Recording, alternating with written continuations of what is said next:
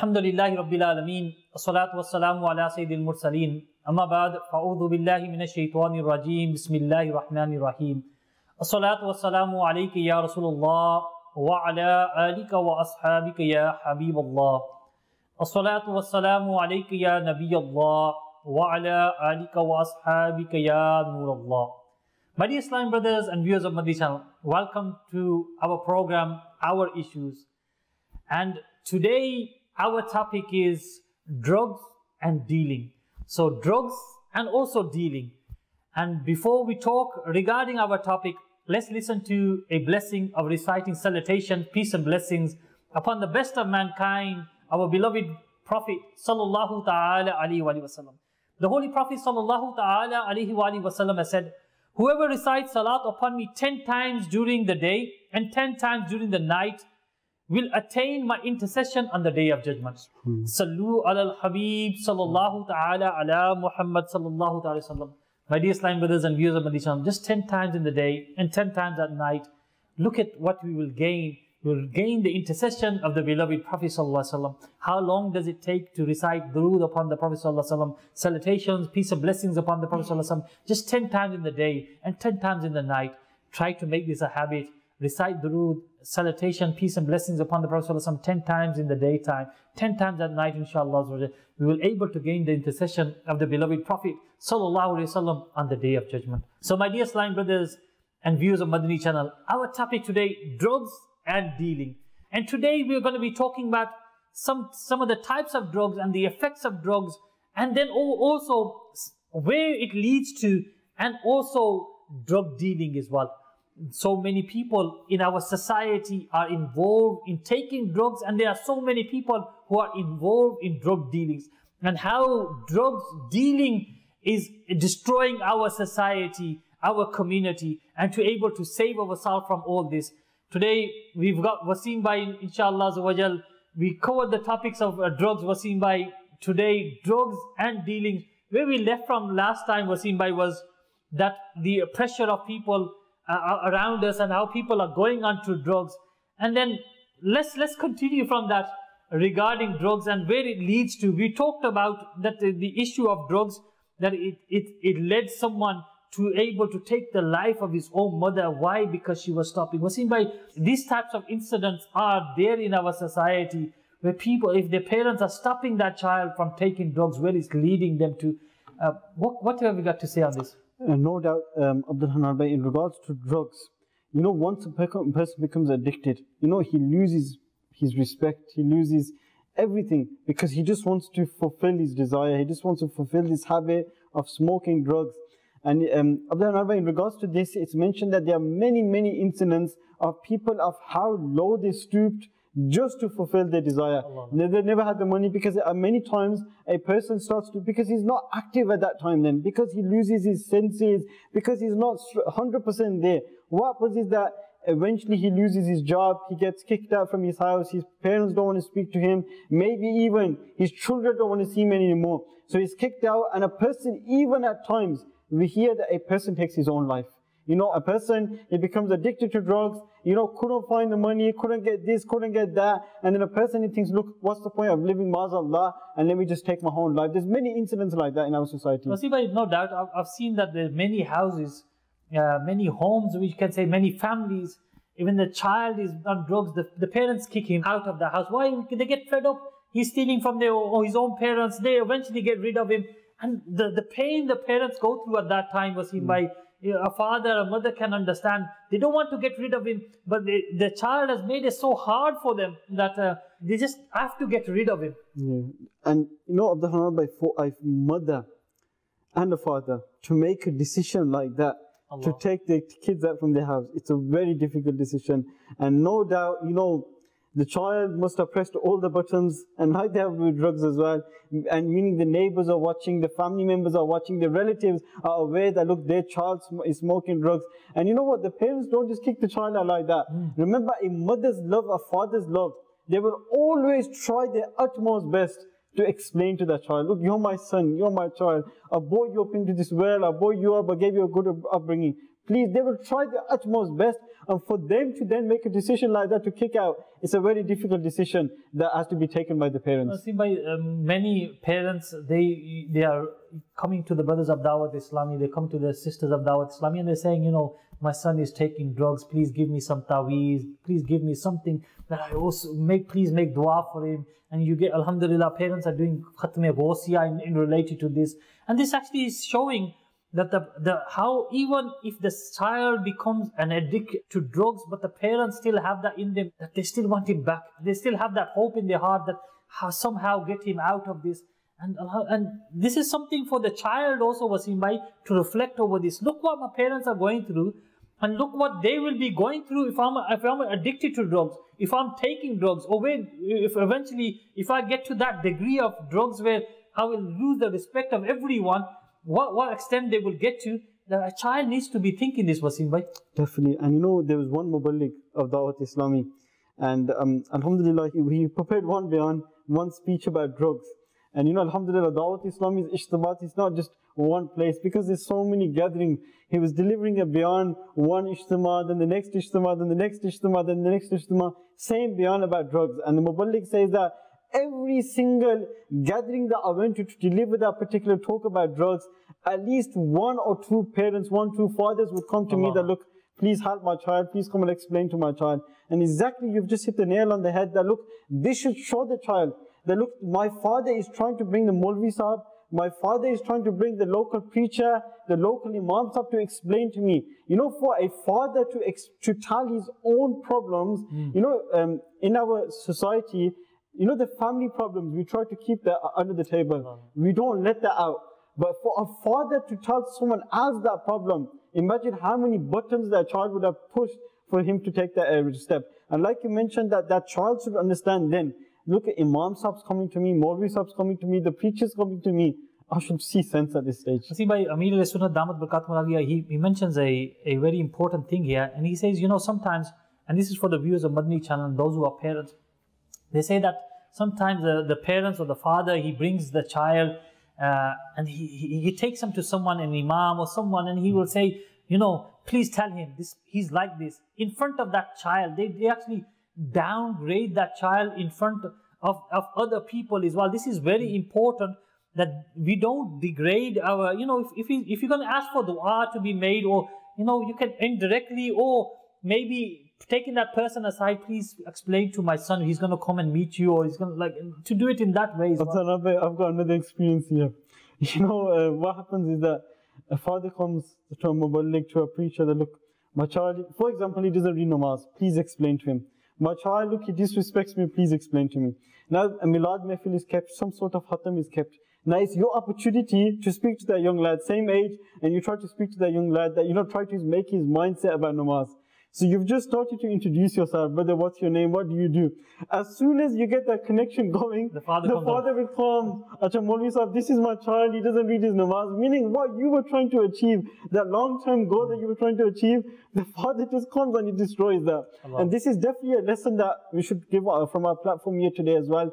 That look, if you've told a Maulvi Sahib, if you've told a preacher, a Muballigh of Dawat Islami, that look, make my child's mind safe to do this action, to leave this action. Let him fulfill that inshallah. In front of that child, once you've let it off on your chest, let the preacher deal with it. Never say anything in front of that child to the preacher, inshallah. Amir Sunnat also says, you know, the, some, some people come and they say, please make dua for my child. He's like this, he's like this.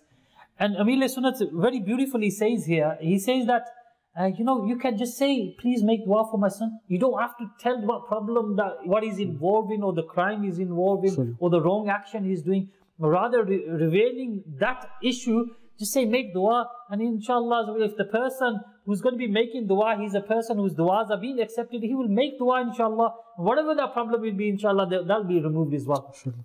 I was Wasim, by just going forward, um, you know, we talked about children um, taking drugs and how the reaction of parents is. The other issue is, you know, people who are taking drugs and then now they've grown up. Now their families have got them married. They've, they've gone into a marriage life now and then then people are still addicted to the drugs now they've got children as well what happens is this is a breaking uh, point as well also the, the wife of that husband, or you know, or the children of, of, who see their father involved in that action. Sometimes what is they actually move away from the father, or the wife moves away from her husband because she sees. And I, I've seen these people have approached me in, in this way as well. That you know, so and so family member of ours you know, the, the, the, they're separated. Why? Because the husband is on drugs. Definitely. And you know, one muballigh, one preacher, he mentioned something that I know has stuck with me till today. And that muballigh, that preacher, he mentioned that, look, do those actions that you want your children to do. Now, for example, you don't want your child to be smoking cigarettes. You stop smoking as well. You, how would you like it if your child is smoking drugs? You won't like it. And remember, you are someone's child as well. Imagine how your parents are feeling when you are smoking drugs. If you don't want your children tomorrow to be drinking alcohol, then why are you drinking alcohol today? If you don't want them to be committing zina tomorrow, then why are you doing it today? So the Muballigh mentioned beautifully that look, whatever you want your children to be doing tomorrow, you set the example from now. If you set the example from now, inshallah, azawajal, inshallah, azawajal, your children will follow your footsteps as well, inshallah. Azawajal. Wasim bhai, you know, last time in our episode we mentioned regarding the, you know, a lot of people, why they're taking drugs is to ease off their mind. And it just come to my mind uh, when, I was, when we were talking about this was that, you know, some people say, oh, I'm, I'm saved from that problem, or I'm saved from this issue because he's relaxed his mind, or he's moved away from that problem mentally because of taking drugs. If, even if someone has moved away from the problem, but he's only moved away from the problem related to this world. Mm. Someone who's taking drugs, if he thinks that he's saved himself from problems, what about the problems of the grave? Mm. What about the problems of the hereafter? The accountability he will have to give for taking drugs on the day of judgment, or the, the lives which he has spoiled they're giving the account for that on the day of judgment. Definitely, Hanan Bhai. And, you know, um, this is with anything. A person thinks that, look, you know, I might have to lie about this just to get a little bit of ease. But just remember, okay, you might get a little bit ease. You know, that problem, that difficulty might go away. You might go past that path successfully. But remember, every action you do on, in this world, you will answer on the day of judgment. And may Allah protect us, may Allah protect us from the azab because no one, there is no one at all that can face even the lightest punishment of Jahannam. And drugs, alcohol, dealing drugs, these are those actions that definitely give invitation to have azab in hereafter. Wasim bhai, uh, one of the things with drugs is that what it leads to. Hmm. Uh, drugs, someone who's taking drugs leads to many ways. We will talk about the dealing side of drugs as well. But there's what I've seen is the people who, who go onto drugs, eventually where they might end up is they either could be end up getting shot or they could be end up going into prison. Why? Because what happens is when a person starts to take drugs, he might have money at that time, but if he's, if someone is addicted to drugs, there's a chance because of his attitude, his behavior, his ways on being addicted to drugs, he can be taken off from his workplace. When he's taken off from his, and he's not able to get a job, what he is involved in? He's involved in stealing, involved in breaking into people's homes. Mm. And when someone is involved to fulfill his desire of drugs, taking drugs, able to fulfill his desire and buying these uh, things, he's involved in crime. And when he's involved in crime, where does it lead to? Eventually they get caught, Wasim Bhai. Definitely. It leads to many crimes. And we've seen this of the Hanan that, you know, breaking into people's homes, you know, and then also many incidents happen up in our society that, you know, people being shot, people being killed, people being murdered because, you know, they've done something once, you know, just to fulfill their desire and it leads to major, major problems. And this is something that we should be refraining from, inshallah. Azawajal. And also, you know, uh, Alhamdulillah, you've given ghusl to many youngsters. And sometimes we've, we've seen in, in the past that what has, what's happened is why they were involved in car accidents. It's also, this is another thing, because of taking drugs, they were in that state of intoxication, or you say the, the mind was some elsewhere, and involved them into that. This is one point that I would definitely like to mention on this platform here that especially for the parents that are watching, you know, it's a Friday night, it's a Saturday night. A car comes at 10 o'clock at night, 10 o'clock at night. Your 15, 16 year old child is leaving his house not at 6 o'clock, 7 o'clock. He's leaving at 10 o'clock at night. A brand new car is coming and he's jumping into that car. Wow. Where do you think they're going? At this time of the night on a Friday and Saturday, then not for one hour, not for two hours, coming back four, or five o'clock in the morning. Allah. And Abdul Hanan, seriously, there are so many incidents in our society that they jump into that car, The driver just shoots off the mother, the father are watching this car shoot down the road. And then what happens is, in the morning they get the news that look, Allah. they were dealing drugs or they were doing drugs. You know, the driver, he was, had smoke. There were these incidents as well. They were smoking drugs and basically they were driving so quick, never had time to respond, crashed the car. And in the morning, the mother, the father that seen the child go into that car, they get a knock on the door that look, the child's passed away. Hadith line brothers and viewers of Madani channel. So just uh, something to us for to reflect that if you are taking drugs, you're not just ruining your own life, but you're ruining the life of your family, your parents, your children. Keep away from these actions of drugs. Don't take it lightly. If you are smoking drugs, come off this habit. Get yourself off the habit of drugs because this will not just destroy you, it will destroy the life of your entire family. And just imagine what your parents will be going through if they find out that you were involved in a car accident, if you were involved in something due to drugs, what they will be feeling, although you would have left the world, but the pain which you would leave them. So before uh, before doing these type of actions, uh, always reflect and think that what it could lead your parents, your family members to go through after you you leave the world. Let's let's go on to uh, the other part of our topic, drug dealing now. We, we've talked about drugs. We, now drug dealing. Drug dealing is it's it's a big issue in our society. Many people are involved in this. First of all, what pe- leads people towards drug dealing, Wasim bhai? First of all, Abdul Bhai, I would just like to start with this point here. That these are those people, these are seriously those people that even the whole community shows anger to these people. Allah. These are those people that are polluting our society today. That, you know, destroying lives, you know, trying to make their life better and destroying other people's lives. And you know, you mentioned that what causes a person to become a drug dealer. First, remember that a person has to smoke drugs to become a drug dealer. So those that are smoking drugs, this is the time to leave your ways because many things lead up to uh, this. The second point that I'd like to mention is that unfortunately today we are going through this identity crisis. The, you know, the youngsters who are growing up, who have started secondary school, going to college life, going through university life. You know, they see an actor, they see someone like that, and they'll be like, okay, let's make my hairstyle like him. Let me make my beard like him. Let me wear my clothes like him. Then what happens is that two months later, okay, this is my role model now. Five months later, okay, this is my role model now. And then what happens is that they are working hard, they are going through this whole effort of trying to get a good earning for themselves.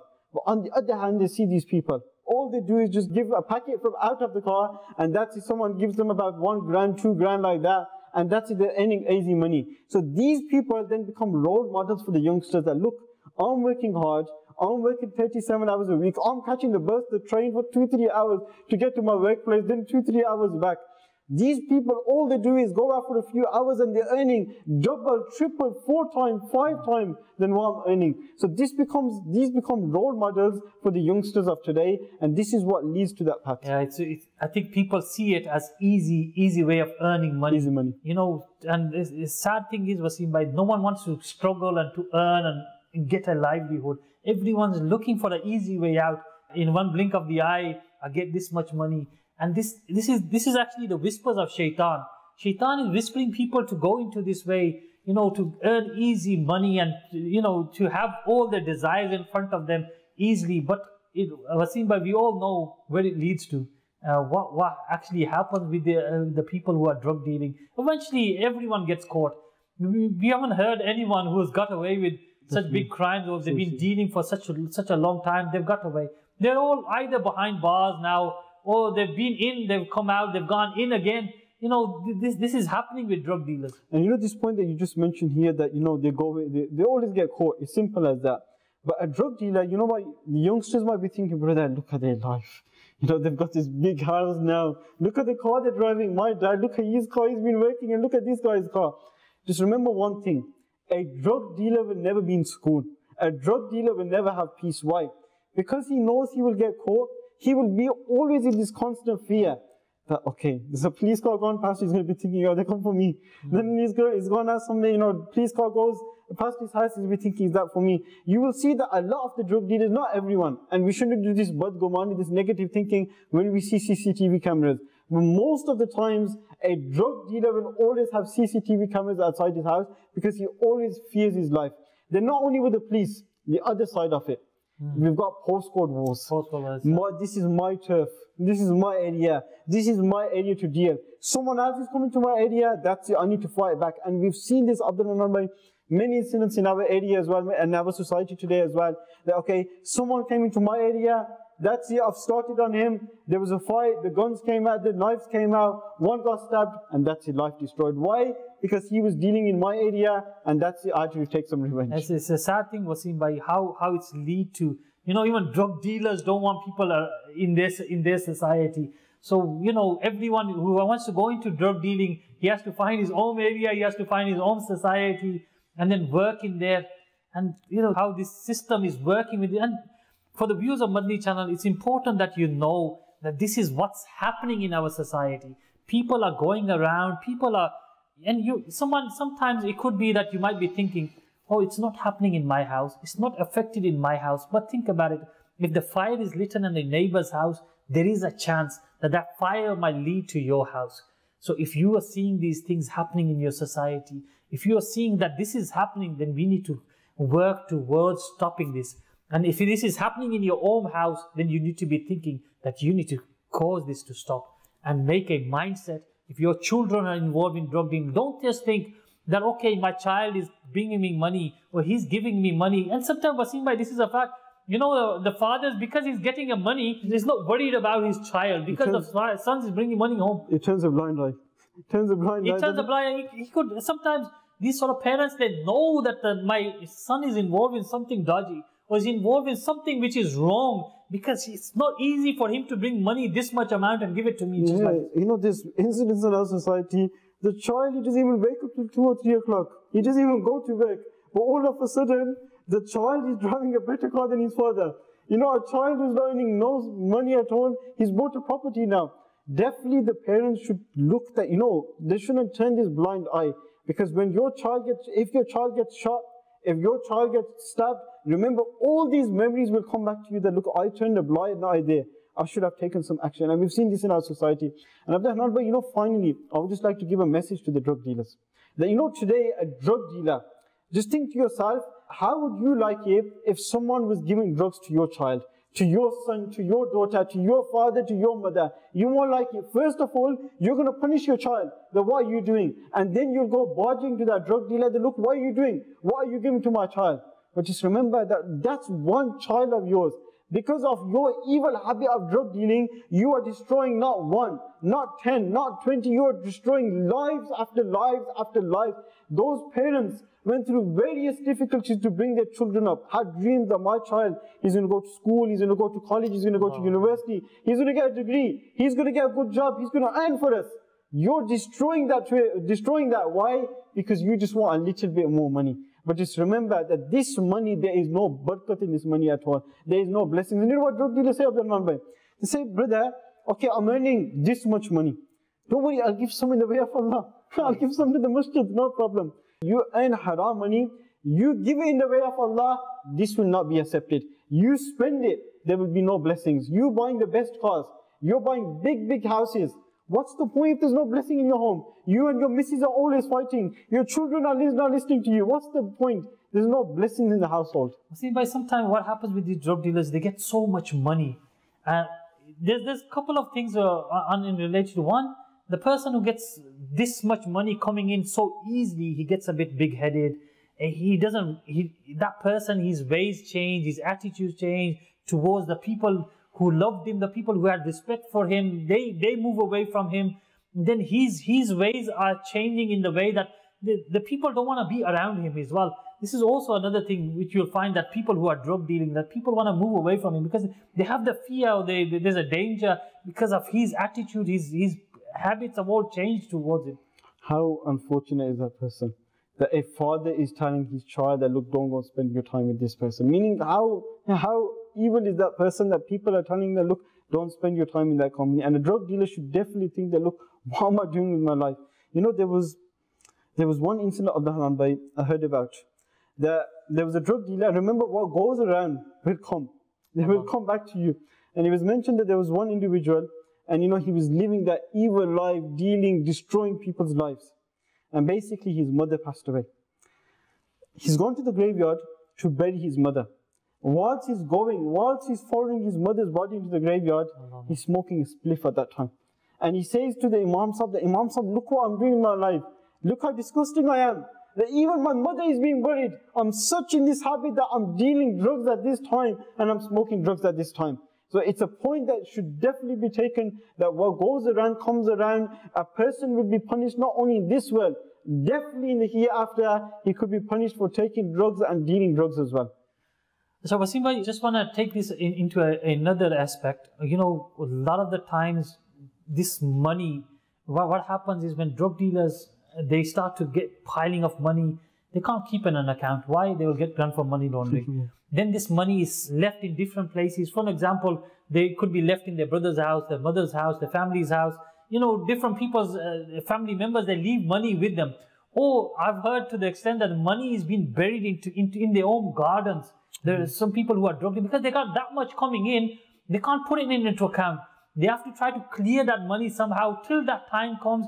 They are stashing that money. And Wasim Bhai the what what's the worst thing is when because there there's people who are on their cases. The police is always on the cases of these type of people.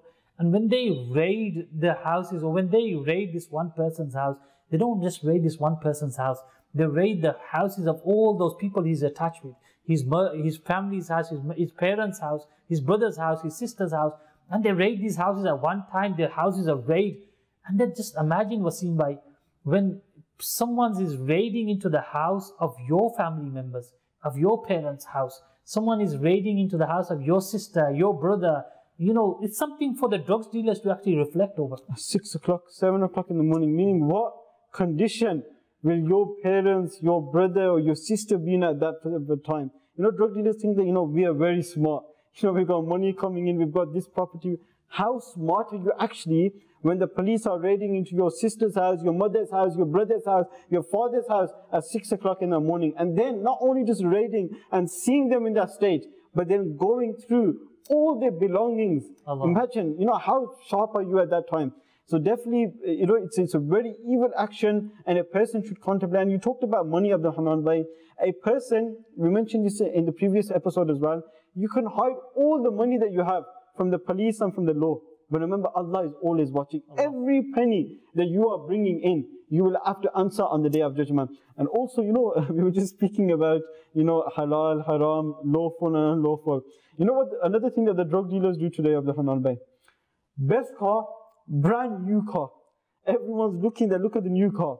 House, everyone's also looking, what a beautiful house, what an amazing house this guy's made. Then phone, brand new phone, you know, the best one, the new one that's come out. He's got it, he's pre-ordered it. Everything brand new. But there's something very odd with the drug dealer. What's that thing? That one of the phones that he will have, it will be the old, you know, the, all the brick phones that used to be back in the 90s, back, in your time of that number. Those old why, phones. Why my time? Could have been your time. Is that? they didn't exist at that time. But back in that time, those old, old phones, they'll keep that as well. Now a person thinks to himself, look, brand new car, a brand new home, a brand new everything. But why do you have this brick old phone? The drug dealer will say that, brother, I'm smart. Why am I smart? Is because the police can't track this number. The police can't track this phone. So this is why I've got this phone, and the police can't track me down. But remember, like just mentioned, you can hide from everyone, Allah. but you can't hide from your creator. Wherever you go, whatever your situation is, you know the thoughts that are going through your mind, Allah is even aware of them thoughts as well. Wasim Bhai just moving on with the related to drug dealing, you know, where it leads to, this is also a, a it's something for the viewers of Madani channel, those who are drug dealing to reflect over. Where drug dealing actually leads to, it actually leads to either you taking someone's life. Why? Because someone has robbed your drugs, someone's taken your drugs, you're taking someone's life here. Or then once you've taken someone's life, they'll, the people are always coming back for you. So someone taking your life, this is also a this, part of this. This constant fear that you're living in. That look who's watching me. There was one incident, there was this young lad, you know, always with a few, few people he had. One day he's walking home alone, they grabbed him, beat him up so much that they killed him on the spot. Allah. And there's many incidents, you know, we wake up in the morning and we find out that in our city, in our area, there's been a stabbing, there's been a shooting. What is this? Later on, everyone goes to read the janazah prayer. Then four, five months later when the investigations happen, the parent's head, in other words, is lowered in shame. Allah. That this will happen due to drug dealing. Imagine, first of all, Abdul Hanan you know, imagine how painful that would be for the parents. First of all, losing the child, burying your own child, and then the news is gone public that this was due to drug dealing. We've, we've seen that, we've seen people who've come on their parents' funeral and they are come in handcuffs.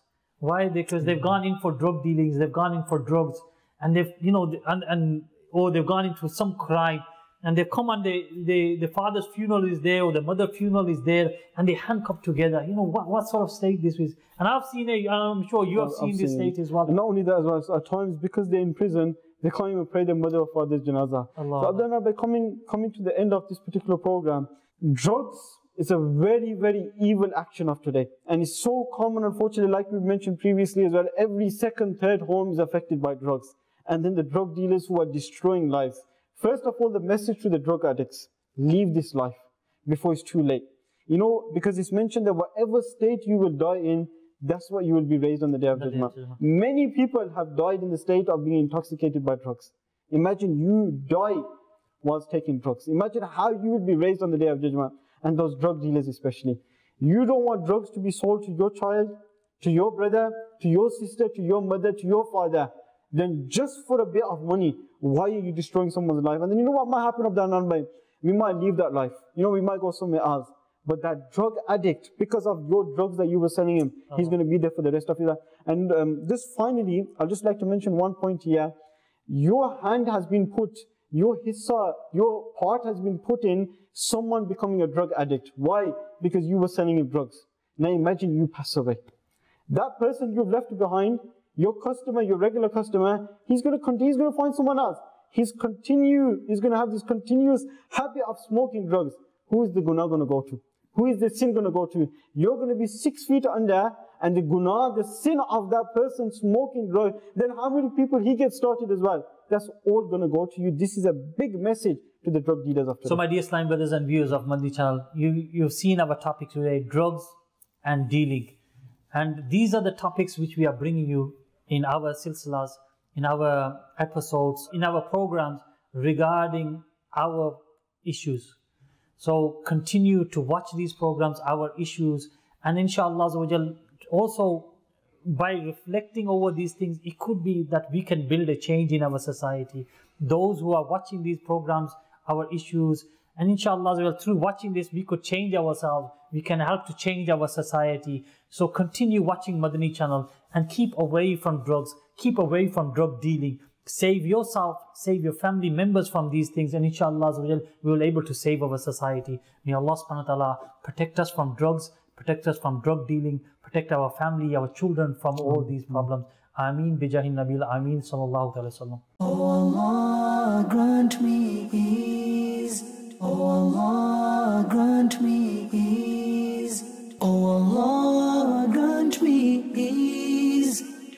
courage and the strength to keep on going and the patience.